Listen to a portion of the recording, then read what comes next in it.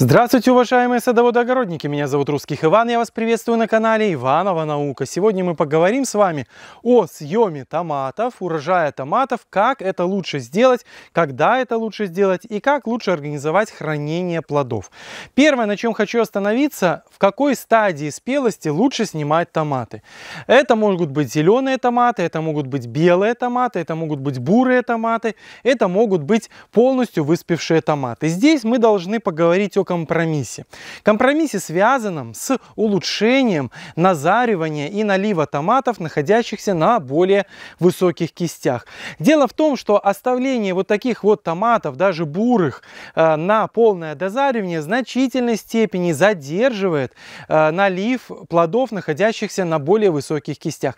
И, конечно, нам хочется ускорить этот налив, не тормозить слишком сильно развитие томатных растений и до наступления фитофторных повторных времен или заморозков, еще собрать этот потенциал урожайности, забрать его из теплицы. Поэтому многие убирают томаты еще, ну не зелеными, но уже в состоянии такой белой спелости. На самом деле, чем раньше вы соберете томаты, тем, конечно, лучше будут назариваться верхние кисти, но тем хуже будет вкус самих томатов. Самые вкусные томаты – это томаты полностью созревшие на веточках. Это само собой. Но на самом деле компромисс здесь может быть достигнут. Можно убрать бурые томаты, то есть томаты, которые уже начали набирать цвет. Считается, что по вкусу разница между томатами, снятыми в стадии полной спелости и в стадии вот этой бурой спелости, она не так велика, если эти томаты дозариваются правильно и дозариваются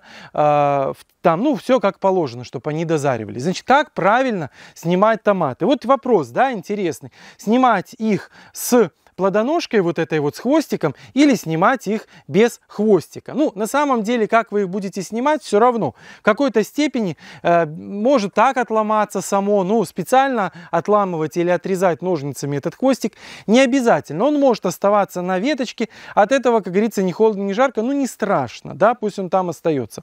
Здесь, если особенно нормально снимается плод без плодоножки, то это вообще абсолютно нормальная ситуация. И лучше снимать, а во всяком случае оставлять оставлять его.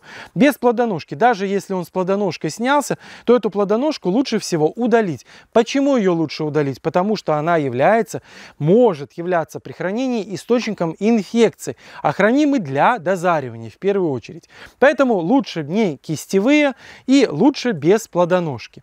А как лучше хранить томаты? Вот укладывать их. Вот, вот этой вот пипкой, да, плодоножкой, вот этой бывшим местом, где плодоножка крепилась вверх или вниз. Считается, что томаты гораздо лучше дозариваются и гораздо лучше хранятся, если мы их храним вот таким вот образом. То есть э, вверх вершиной, да, вот таким. Вот не так на, на подоконник, например, укладываем, а вот таким вот образом.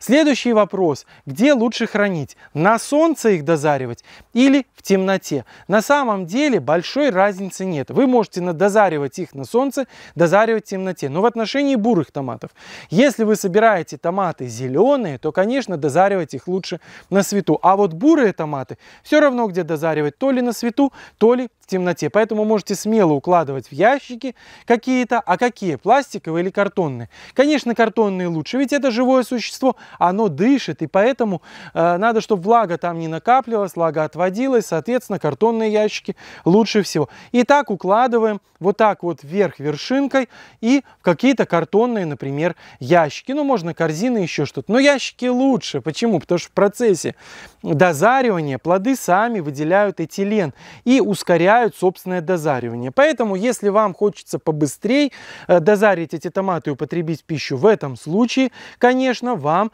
э, стоит сделать картонную коробку, переложить ее слоями бумаги, уложить туда плоды и закрыть ее для того, чтобы этилен там накапливался. И вы можете даже подложить туда несколько спелых томатов, они этилен этот фугуют вообще с большой интенсивностью.